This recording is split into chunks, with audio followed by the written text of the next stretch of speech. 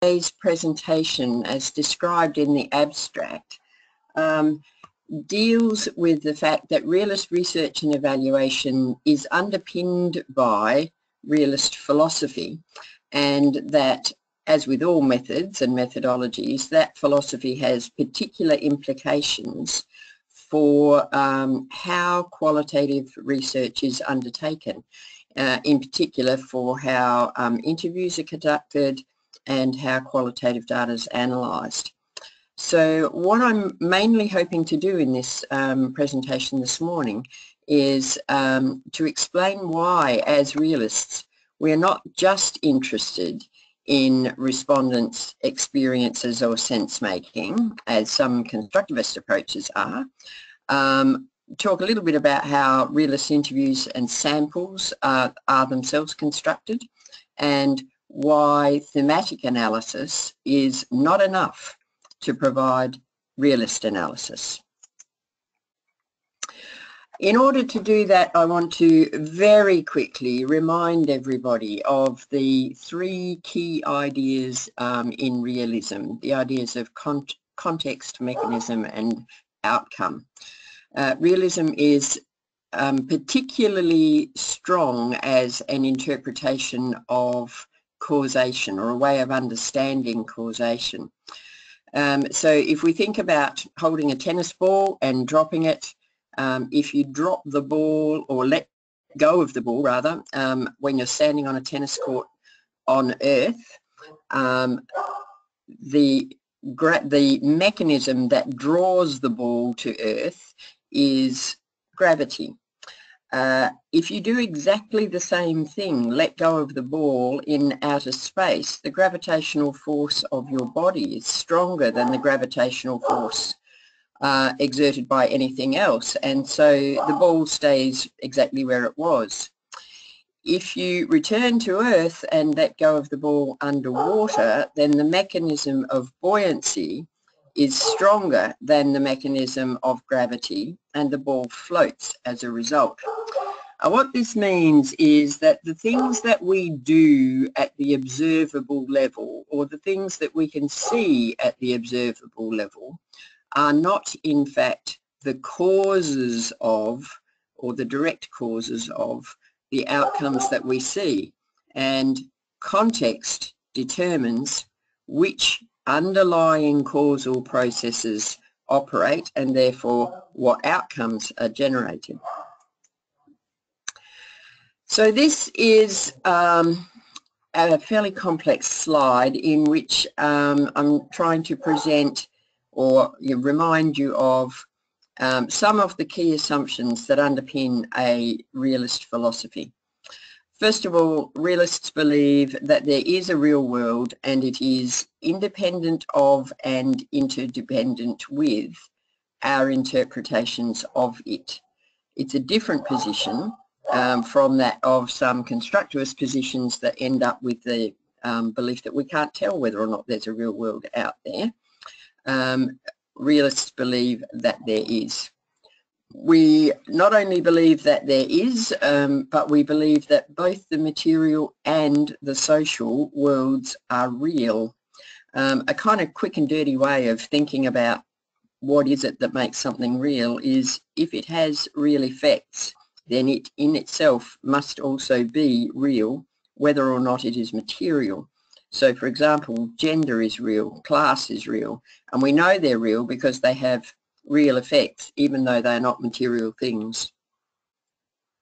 Our next assumption is that um, both the material worlds and the social worlds are comprised of complex, open, nested systems. Um, and each of those uh, descriptive terms there has particular implications for how causation works and therefore for how we as qualitative researchers need to go about understanding how things happen in the world. Uh, complex systems imply, amongst other things, that there will be multiple causes of any event um, and multiple consequences of any event. Open systems imply that we cannot close the system as is intended in some forms of research in order to investigate how something works. Uh, the open systems have things moving in and out of them. Their boundaries are porous. Um, and so they are in fact always changing as it is, as we are in the process of trying to investigate what's going on. Next assumption is that there are causal processes at all levels of all systems. And I've put there from the cellular to the interstellar, but they, they certainly go lower than the cellular level as well. Um, causal processes are usually at a different level of the system than the outcome or event that we are investigating. Um, causation works both upwards and downwards in complex systems and in fact across complex systems. But usually uh, the causal forces are at a different level of the system than that which we are observing or explaining. And this has become known in um, realist philosophy as thinking of causal forces and processes as being real but being invisible and or underlying and that's what the iceberg um, metaphor represents. Um, it's presenting work developed by Roy Bhaskar, who said we can think of reality as comprising three levels. There's the empirical level, that which we observe or experience. There's also the actual level. These are things that happen um, whether or not we observe them, whether or not we experience them. So the realist answer to did the tree fall over in the forest? There really is a forest. Um, did it make a, the realist answer to the question, did the tree make a sound when it fell over in the forest? Sorry. There really is a forest. There really was a tree. It really did fall over and it really did cause the difference in air pressure that would be interpreted as sound by a human ear were there a human ear there to hear it. But then the next level down is what Bhaskar called the real. And the real comprises, um, the real, in fact, includes actual and empirical, they're nested levels. Uh, but the real is the level at which underlying causal structures, forces and processes operate in order to generate the um, objects and events that we see um, at the empirical level or that exist at the actual level. So if that's realism 101, how do we um, understand that if we're thinking about researching or evaluating policies or programs?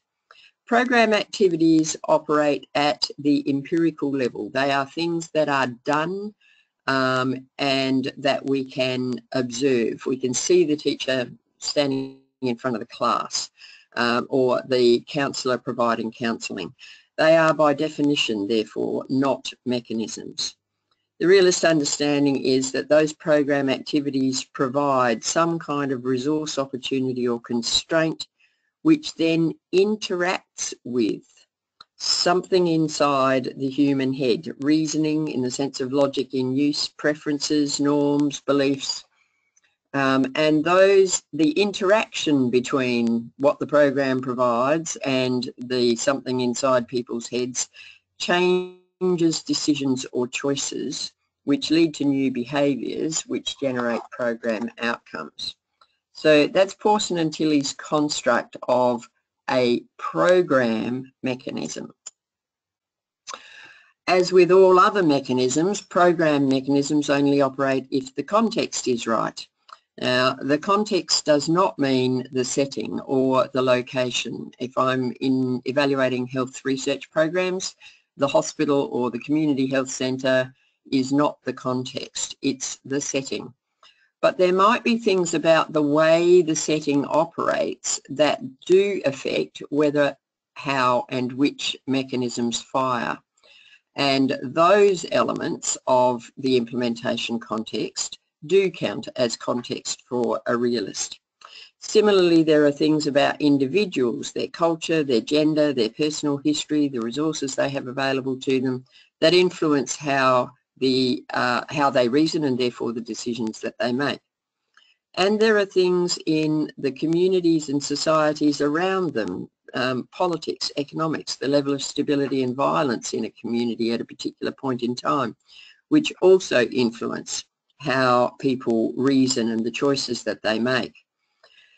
Even where um, programs uh, get to the point where participants or targets are making the decisions that the program would like them to make, the last aspect of context is that the opportunities and resources to enact those decisions uh, and to keep enacting those decisions usually um, have to be available. We can train unemployed people until we're blue in the face. If there's no jobs there, they're just better trained unemployed people. So it is the interaction between multiple forms of context uh, interacting with or influencing the reasoning of subjects of the program and that in turn interacting with the uh, local context and whether or not opportunities and resources are available, that creates the pattern of program outcomes. And pattern is underlined there because as realists we are not so interested in on average answers. We are interested in explaining how and why different outcomes are created in different contexts. So that's the reminder session for um, realist uh, philosophy and particularly realist ontology um, and how it is made manifest in um, realist research and evaluation program related, policy program related.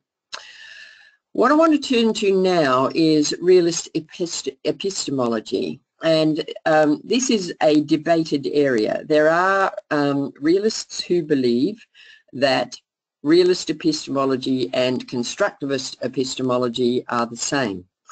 And there are realists who believe that the constructivist epistemology and realist epistemology have a lot in common, but they are not the same. Um, and I fall into the latter camp. So the bits on which we agree, uh, we realists and constructivists agree that all knowledge is um, kind of, I want to say, of course, socially and individually constructed.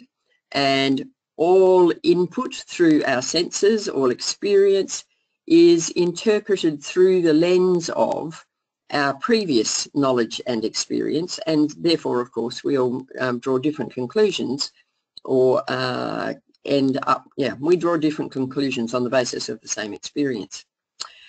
If you follow a pure constructivist epistem epistemology, uh, what the next step in the logic is, and what that means is there's no way to choose between two competing versions of reality. There's no way to choose between my interpretation and my friend next to me's interpretation of what just happened, even though they are likely to be different. As a result of that, we can't really know what reality is really like. There's no way to determine which interpretation is correct. And the end point of that for constructivist research is that the researcher's role is to understand and faithfully report the meanings and interpretations that subjects attribute to their experiences. The school of realism in which I fit takes a slightly different position. We agree, as I said before, that knowledge is socially and individually constructed and interpreted. However, if there is a real world out there, as we believe there is, and that reality is independent of our interpretations of it, then we can use it to construct ways that we can test our knowledge of it and thereby gradually improve our understanding of it. Um, and this in fact seems to me to be the purpose of uh, research and evaluation activities. We, we want to be able to improve our knowledge and understanding of what it is that is, I was about to say out there, but it actually includes in here, it includes inside humans. And as realists, our role is to understand um, the causal processes by which outcomes were generated and why they differ in different contexts.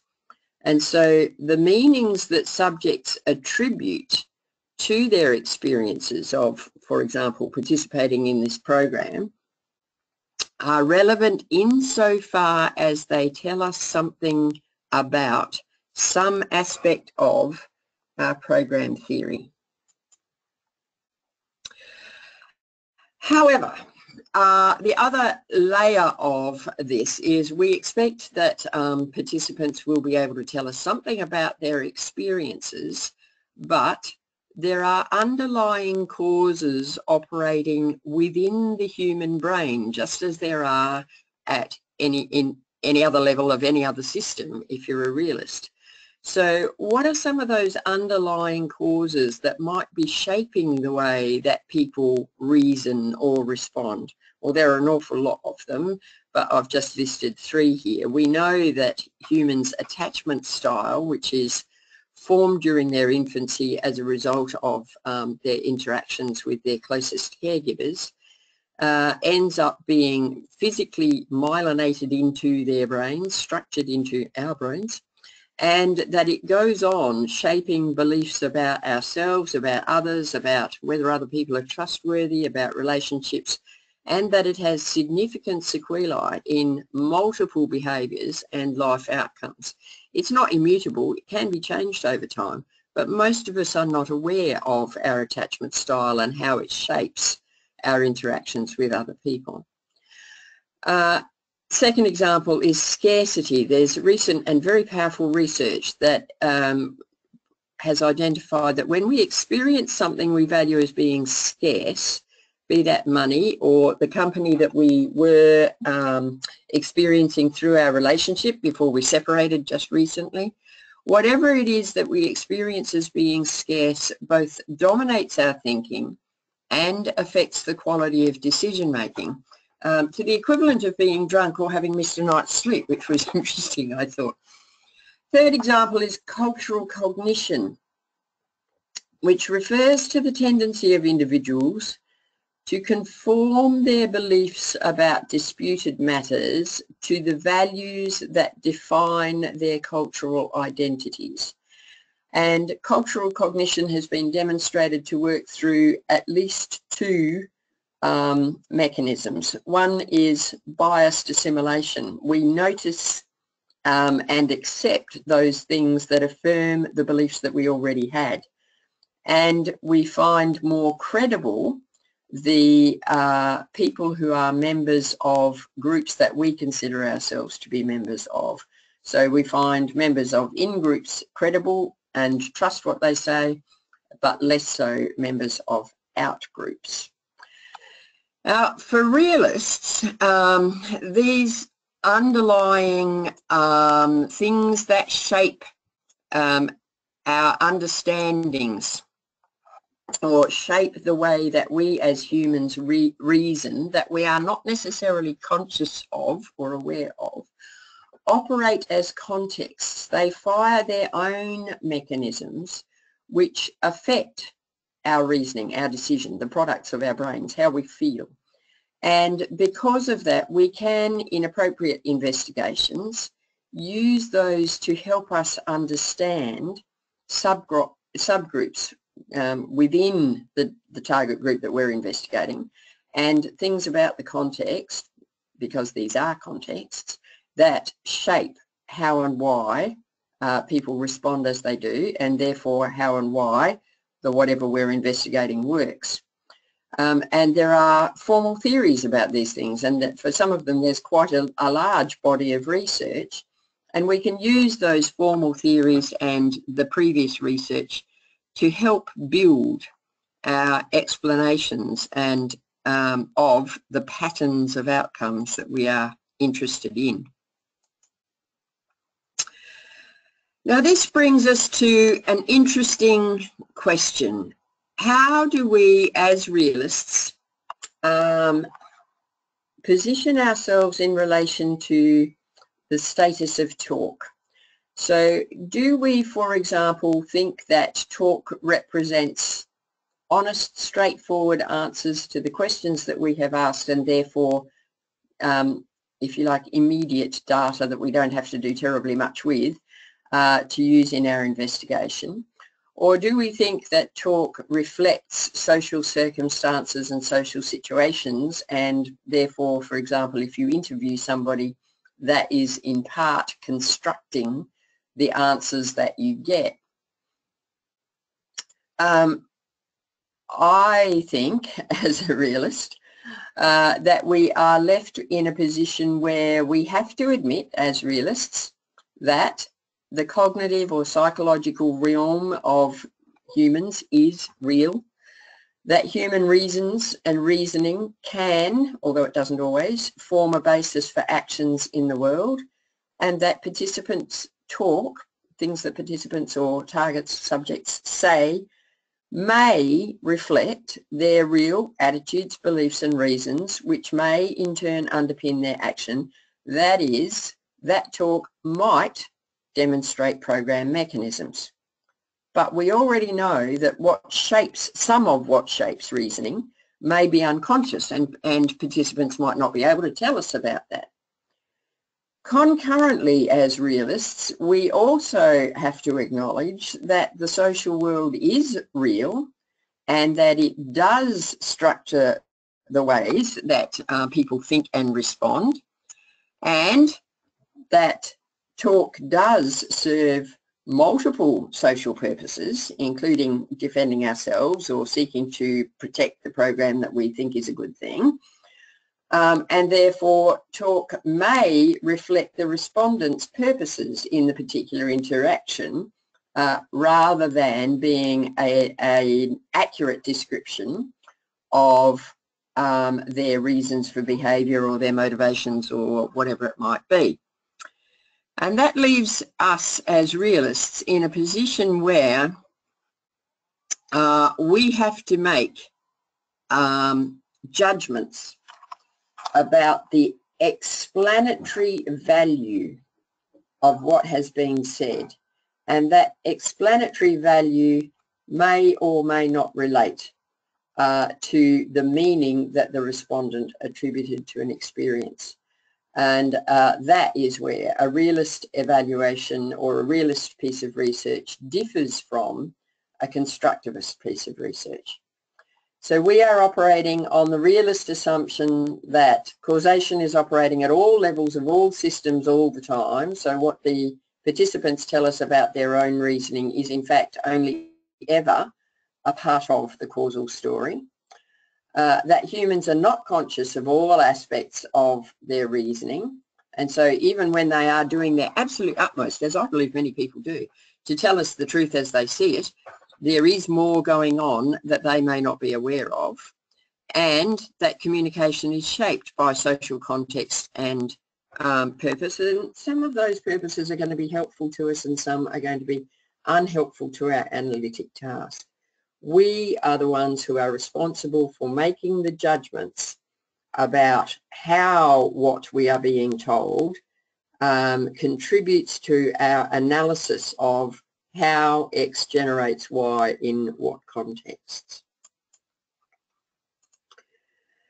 So having taken that as our um, starting point, I just want to um, say a couple of things very quickly about what that means for how we construct um, interviews. Um, realist interviewing um, and realist program theory are theory-based approaches. Um, when we're trying to conduct, uh, construct our initial piece of theory. I've called it program theory here, but it, it can actually apply to any kind of theory. Um, when we're trying to construct our initial program theory, how do we do that? An initial program theory says, so how is this thing supposed to work? How do we think that it works? And you can get qualitative data about that from people who wrote a program, people who are um, paying for a program, uh, the people who are running and implementing the program and from documentation and previous research and evidence. But when you move from developing your initial rough theory to collecting the evidence to test that theory, the nature of the question changes from how is this supposed to work to how is this actually working, for whom and in what circumstances, if you're answering the realist questions. And now who you can get the information from changes. You can still probably talk to program managers and staff. Now you can talk to program participants and other stakeholders who are close enough to the program to have information about what's happening. And you can draw on administrative records and photographs and all sorts of other data as well, both qualitative and quantitative, of course. When you move into the analysis phase, we are not going to be purely inductive or purely deductive in our theory testing. Uh, realist analysis is about understanding underlying causes which by definition we can't see. And so we need to be moving between um, inductive and deductive reasoning and using our intuition, our hunches, which we build into partial explanations, which we then test again. Um, and building this best possible explanation of always incomplete evidence using a combination of induction, deduction and uh, informed hunches, informed intuition is known as retroduction. Um, and so the uh, analytic techniques that we use in realist work are not necessarily exactly the same as um, in other forms of qualitative interviewing. The final task is, of course, to refine our theory. So we'll be answering questions like how, for whom, in what context, in what respects, to what extent, at what cost borne by whom, depending on the nature of the uh, investigation that you're taking. And those over what timescale. Uh, those um, re refinements of theory are done both against the initial rough theory that you developed in the first stage of re your research and potentially against formal or substantive theory. And that means that we construct our samples to test the theory. Uh, you might use um, different forms of sampling when your theory is not well developed. So you might, for example, develop a cluster theory, uh, a cluster sample, sorry, or a maximum diversity sample um, in order to get diversity of responses to develop an initial rough theory. But once your theory is well enough developed, uh, you sample for the contexts or the population groups that are identified in the theory in order to be able to test the theory. And what that means is that we are not seeking to build something that is representative or generalizable in the usual sense of the word and we don't use random samples. We do try to allow for iteration and so when you're constructing your sample working out how many interviews you're going to have all up um, it is a better idea usually to have a smaller number of interviews in your early rounds and have room to iterate, to go back and collect further information as your theory develops and refines. The nature of the interview is always is also slightly different. In a constructivist interview, you want to find out what the participant's experience was, and how they interpret it. In a sense, the participant is the subject of the interview. That's slightly overstating it, but I'm trying to make a point. For um, a realist interview, the topic of the interview is the program theory. And so everything that you are asking is about gathering data that will help you to support, refute or refine, build in the first place, or then support, refute or refine uh, the program theory that you are investigating, the piece of theory that you're investigating. Uh, we normally um, suggest that you start with pretty open questions on the topic that you're investigating. In realist uh, interviews, it is okay to prompt with examples or to prompt with explicit statements of pieces of the program theory in order for the participant to be able to engage with you in a conversation about the theory and how it applies in this particular set of circumstances. Um, and some people get anxious there about um, the interviewer leading the interview, But the idea is that we need to be able to present different bits of program theory in such a way that it enables the participant to say, yeah, no, it doesn't quite work like that here though, and to tell us the story of um, how it works for them or here or whatever it might be.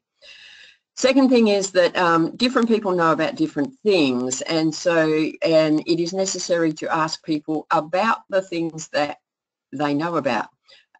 Uh, if they haven't actually been engaged in the program, they can't tell you about the program. Um, if uh, they can tell you about other things, than what they need or want or what they would like from a program or whatever, but they can't tell you about the program if they haven't been engaged with it. Um, the people who run the program will have different information to offer than the people who participate in the program and so on.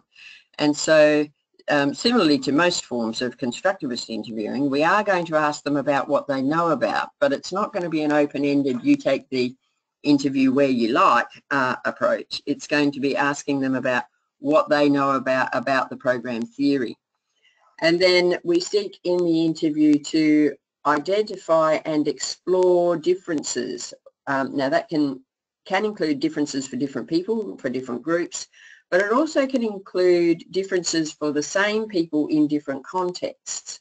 Um, is it easier to do X sometimes than at other times?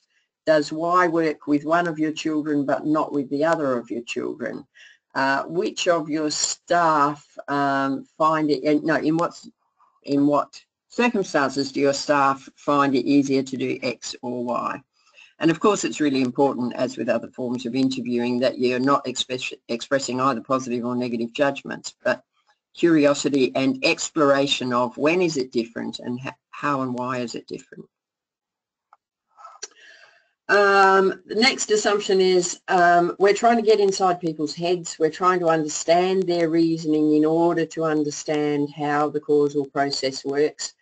Only uh, the person themselves can tell you about their reasoning. They can't tell you everything about their reasoning, but they are the only person who can tell you about their reasoning. Um, and they are probably better placed, although not always, to talk to you about the things that lie behind and support their reasoning or the things that affect the aspects of their reasoning. Um, and as I've said already, we, we want to try and iterate as we evolve our theory, as we ref gradually refine our theory, it is desirable to be able to go back um, and um, talk to people that you have previously interviewed again about, hey, what about this bit? You can also iterate actually within the interview sample. You can learn something in yesterday's interview and test it with a different person in today's interview, and that's entirely legitimate. What does it mean for analysis? Um, as I've already talked about, um, we use retroductive analysis in realism um, because analysis is an ongoing process um, of building, testing and refining theory which goes on through the entire research or evaluation project. From the moment you start talking about what are we trying to find out here, um, that you're starting to build theories that you are then going to test. And we are looking uh, to go behind or underneath what is observable to find out what it is that's going on at the level of the real, what's the causal process. The realist standards, international standards for um, realist evaluation suggest that we as analysts need to be able to describe in detail how our data were analysed. Um, we have to be able to say how did we identify constructs, how did we analyse them, how did we develop the theory, and if we changed our analytic methods as we were going through this process of theory refinement, then we need to be able to describe that as well. And that means that we've got a series of data, uh, a series of um, analysis process decisions to make, as you do with any other form of analysis, we need to be clear about what kind, what data we're going to extract or code and why, how we're going to record it in such a way that it will enable us to identify the linkages between context, mechanism and outcome, exactly how we're going to go about analysing it, and then once we've got data and analysis, how we are going to synthesise our findings within and across data sets. The analytic tasks that we're engaged in as realists are explanatory. It, it, they are not descriptive or they are not solely descriptive. We have to explain the outcomes by identifying the mechanisms that create them. Now, by logical implication, mechanisms can't be identified without reference to particular outcomes. The mechanism is what causes this particular outcome. And for realist philosophy, context doesn't directly affect outcome, it affects mechanisms, which means that this, what matters about context, the significant aspects of context, can't be identified without reference to mechanism. And that implies a logic of analysis. You don't have to follow it rigorously every time, all the time, but the logic is identify the outcomes first, move back from that to identify the mechanisms that cause the outcomes, uh, move back from that to identify the elements of context that affect the mechanisms, and then align all of your constructed bits of context mechanism outcome against your program theory uh, and move to be able to identify the interactions within the CMOs and context mechanism outcome statements and between them.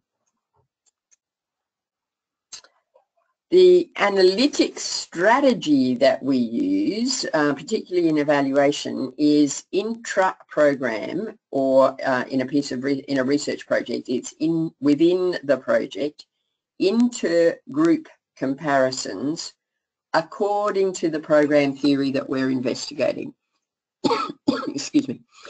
So if we have a piece of program theory that says the main mechanism that operates in this program is social capital. The program builds social capital which then results in dot dot dot. Where we don't see an increase in social capital, we shouldn't see an increase, a uh, change in outcomes. Where we see an increase in social capital, we should see a change in outcomes.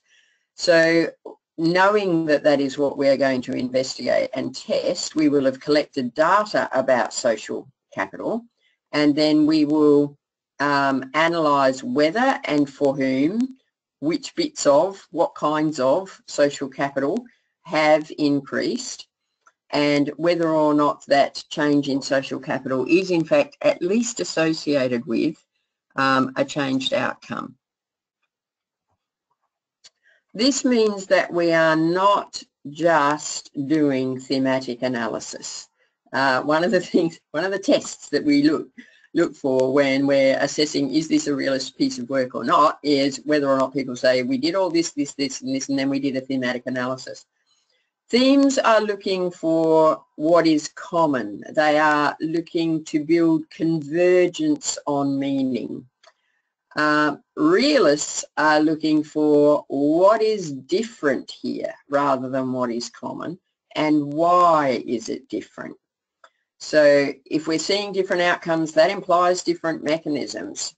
Um, or if in our program theory we have hypothesized that different contexts will affect whether and how this works, we can look for the contextual differences and work forward from that. Now, of course, there will there will end up being themes because there are, quote unquote, patterns in the outcomes, patterns in the data but the themes will be within contexts or groups and not necessarily across them. We want to build our explanations in disaggregated middle range theory levels of abstraction. There are a bunch of different approaches, um, analytic strategies that you can use to uh, get there. You can use a modified form of analytic induction, uh, which works by um, choosing a rich first um, case, developing um, your program theory from that first case, and then modifying the theory, which means for a realist, adding bits of context or mechanism or outcome or their interaction uh, with the data from each subsequent interview. You can use theory-based matrices where you set out elements of the theory and uh, the data that you get from each respondent in relation to that element of the theory. Uh, if you're theory building, you can use a modified form of um, grounded theory, although you do, in, uh, in both cases of analytic induction and grounded theory, they do have to be modified to make them appropriate for realist use. Um, one of the assumptions of grounded theory, for example, is that you start uh, with no, with as few preconceptions as you possibly can and build your theory entirely from the data. Whereas realists are assuming, well, we're starting with a theory about how causation works um, in the broad sense, the philosophical sense, and that structures the nature of the questions that we're asking, the nature of the analysis that we're trying to do. So um, you've got at least a preliminary structure for your theory as a result of that. And you also, of course, need to keep protecting disaggregation. How is it different in different contexts as you move through or up the process of building theory uh, from the data? So um, very quick couple of final slides. Uh, what do we look for when we're analysing for context? When we're analysing for context, we're looking for what affects whether and which mechanisms fire. So there's a bunch of um, dot points below that on the slide that you can see where parents uh, being interviewed about a parenting program talked about things, a variety of different things, their own upbringing, whether or not they'd been to other programs, what's going on for their kids, their own attitudes to and expectations of their kids, etc.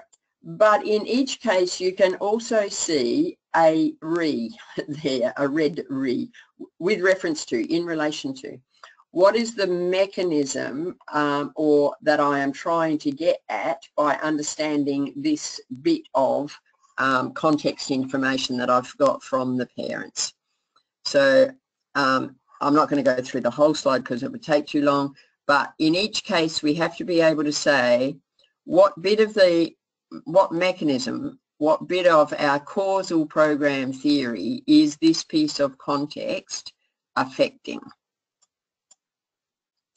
When you're analysing for mechanism, if you're using Pawson and Tilley's construct of program mechanisms and interaction between the resources, opportunities and constraints that the program provides and the reasoning of the uh, respondent. Resources might be material, financial, social, psychological, intellectual, um, whatever, money. Um, but they are also likely to be new to the participant. The, the, logic for saying that is that if the participant already had access to those resources, they might already be doing uh, what it is that the program is seeking for them to do. So it's likely to be something that's new to them and that has enabled or facilitated a change, not necessarily the intended change, but a change. And for the reasoning, you are looking for whatever it is inside their heads. It's a catch-all term. It doesn't just mean logic in use. It includes attitudes, values, beliefs, norms. But they are in response to the program or initiative, their experiences in the program or initiative, and that are changed as a result of the and or are changed as a result of the initiative that lead to the different decision and therefore the different behaviour and therefore the different outcome. Um, This reading for mechanisms slide I'm going to leave with you for your own um, practice later. I, when I read these um, uh, paragraph extracts from three different participants in the same program, see at least two underlying mechanisms um, that are at play there and I'm going to leave it with you as an exercise uh, and you can ask me questions about it later if you wish. How do we analyse for the interactions between context, mechanism and outcome? Well, the first one is where, uh, the first way is when participants actually tell you, here's, here's the interaction. In the way that they structure their sentences, they tell you, here's the interaction. So a good teacher, if they're talking down to you all the time, then it won't sink in because you get your backup and that's it. You seal off, you shut off. So here we have an interaction between something that about the way the intervention, the teaching, is being de um, delivered. That affects the response. You get your backup. And then that's it. It You seal off, therefore it doesn't sink in. That's the outcome um, and the learning doesn't happen. Sometimes it's not quite that explicit, um, but um, you've got the two ideas in the same sentence or paragraph. In the last couple of weeks, I've got the courage mechanism to stand up to people, be assertive in my behaviour. That's an outcome. Uh, sometimes people refer back when you're asking them about um, how do you reckon that happened, they will say, you know how I said earlier about dot, dot, dot, dot um, that is drawing the link for you. It is enabling you to see the interaction, at least uh, as they think it happens. And so, and the other technique that you can use is relying on, again, the structure of language, conjunctions, and, but, because, if, when, so. Those words tell us that there are um, interactions between ideas um, that help us in our analytic task. Having analysed the data within um, an, in an, interview, um, we then need to synthesise the data across interviews. And bearing in mind that we are looking for patterns uh, or groups of outcomes, um, that can be patterns across participants, but also the ways that outcomes group um, within for individual participants and for groups of participants. Uh, we are trying to find out which mechanisms across our data set are associated with which outcomes and have our explanation of how we justify the fact that they are associated. The contexts that are associated with the mechanisms, and again, we have to be able to justify why we're saying that they are. Um, and then we need to move back to and formalise our um, explanation of how and why our data implies refinement to program theory and offer that refinement. And in many cases, um, that will be more usefully done or easily done if it refers back to formal or substantive theory. So Pawson, for example, used reference group theory to uh, explain how different groups respond differently to naming, shaming and faming uh, initiatives, naming, shaming and faming being um, an overarching mechanism that turns up in many um, interventions. Attachment theory can be used to explain how different groups of parents respond in different ways to family support and parenting programs. Cultural cognition theory that I talked about uh, earlier can explain how people respond differently to the same uh, information. So we can use um, formal theories to help us build our explanations of the different patterns of outcomes that we have found. So, in summary, realism is a philosophy. It's not a method, um, but it has implications for methodology and methods. Um, the purpose of realist investigations is explanatory, not just descriptive. The subject of a realist interview is a piece of theory or some pieces of theory. We construct our samples purposively so that we can test our theories. Our interview questions are developed to explicate our theories about how and why things work differently in different contexts. Our analytic methods depend on the stage of theory development um, but involve retroduction, not just induction or deduction alone. And the product that we are seeking to, to produce is a refined theory, a refined explanation. Thanks very much for your time in listening to the presentation. Um, my, I'll leave my contact details up on the screen in case anybody wants to get in touch with me later, but for now I'll hand back to Ricardo. Thank you very much, Gill. I have a question from Tammy. And Tammy, I will I will try to give you the microphone so that you can uh, you can say that question out loud. So let me open your microphone, Tammy.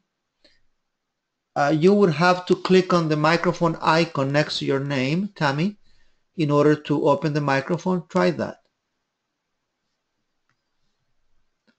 Well, if it doesn't work, what I will do is I will read the question out loud. And the question is as follows. Uh, what do you mean that causal processes work upward and downward? Uh, so if you think about um, the structure of um, systems, every system is comprised of smaller systems and itself then makes up part of a larger system.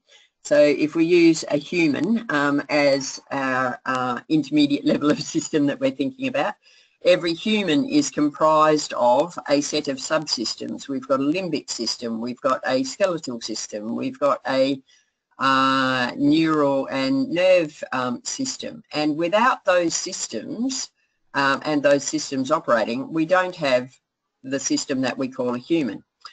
But every human is then part of a series of other systems. Most of us are part of families, children go to schools, schools are part of a larger system again, an education system. Families are part of communities, communities are part of societies. You can do this with any kind of system. Ideas, individual ideas are part of belief systems, belief systems are part of cultures, etc., etc., etc. So um, everything is made up of these multiple levels of systems which are open and interacting. Uh, things at lower levels of systems can cause outcomes or contribute to outcomes at the next level up of a system. Uh, the really obvious example in terms of the human would be if my circulatory system fails and I have a heart attack, I die. The outcome is at the next level up of the system, even though it was a lower level system uh, that failed. Uh, but causation also works downwards in systems. So, for example, in the education system, they set policies about what schools are allowed to do, which shapes what schools do.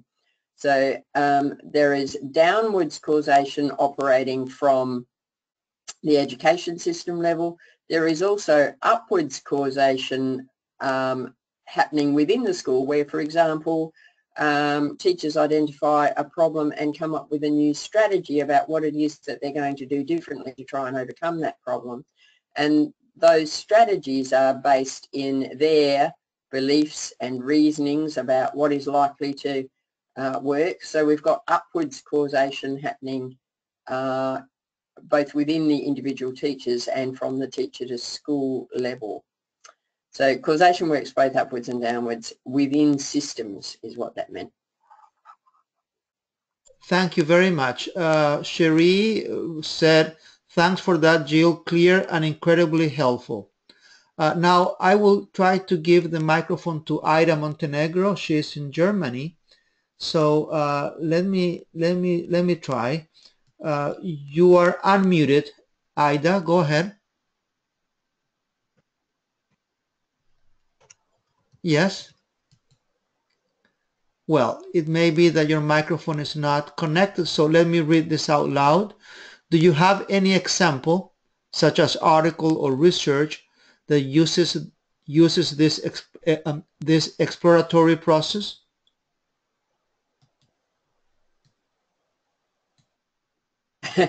there are now hundreds of examples of um, realist research and uh, evaluation. Uh, in terms of evaluation itself, if you just Google the word realist evaluation and a topic that you are interested in, uh, you can almost always pull up um, something that's been done in terms of realist evaluation. Um, realist research more broadly um, often goes under the name critical realist research And the word critical means um, two different things. Sometimes it means a particular political position, sometimes it means a particular analytic um, position. But there's a lot of um, realist slash critical realist research that's done in sociology, for example. Um, so yes, there are hundreds of examples now and they are relatively speaking easy to find.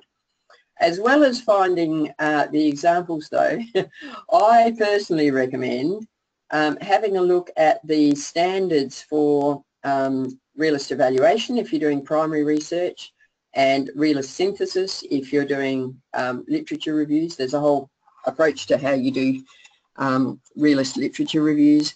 Um, and just check the piece of work that you're reading against those standards because there are a lot of things that are using the name realist but they are not taking uh, all those uh, assumptions, or they're not they're not making all the same assumptions as I've just presented. Um, there's a series of fairly common mistakes, um, and they often grow out of words having multiple meanings. So um, a lot of people will describe program activities or strategies as being mechanisms because that's what we used to call them. You know, we've introduced a new funding mechanism, the government will say. That's not mechanism in the sense of um, realist causal mechanism. That's a different use of the word. So um, those misunderstandings of things like um, things that people do in a program are a mechanism uh, you need to watch out for. So, but there's a lot of examples out there. Thank you very much. And we have come to the end. So I would like to thank all of you for coming today.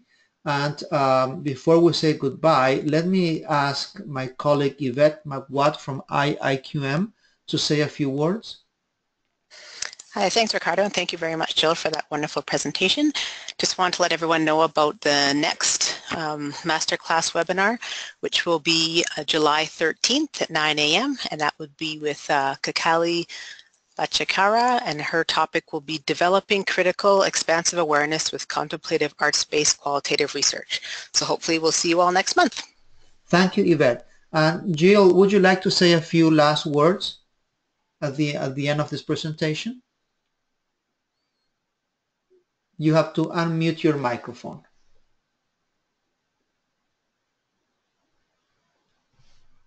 I was. I was laughing and saying, I think I've talked quite enough already. I am genuinely um, okay with people making um, contact with me. I do recommend that people have a look at the RAMESES website um, because that's the, uh, the website is ramesesproject.org. Um, that is the website that has the um, international standards for realist evaluation and realist review and it also has a bunch of training materials on it um, and more coming in terms of the training materials. Uh, so uh, in the next mm, few weeks I expect a series of resources on realist interviewing and realist analysis, retroduction, those sorts of things will be going up on that website. Uh, we've deliberately tried to make the new round of training materials accessible. So we've written short pieces, about a thousand words each, on some of those um, uh, sort of tricky bits in realist stuff. Uh, and we, I, I would really recommend that people have a look at that. But I'm also happy to respond to questions. But perhaps the final thing I would say is there is, in fact, um, a discussion list available through the um, RAMESES website, and people do use it and people do respond helpfully to questions that go up there. So that might be another way to get um, further access to uh, resources, information and support about using realist approaches. Thank you very much and uh, thank you all for coming. Uh, we we would appreciate or we, or we, would be happy to have you come back to uh, uh, to the next presentations and if you go to the IIQM website uh, you will find the archived webinars that go back to 2000 and um, 2000 and let me see 14 I believe. Uh, so it's a long long history and uh, this program is possible because of your participation. So thank you very much all of you and goodbye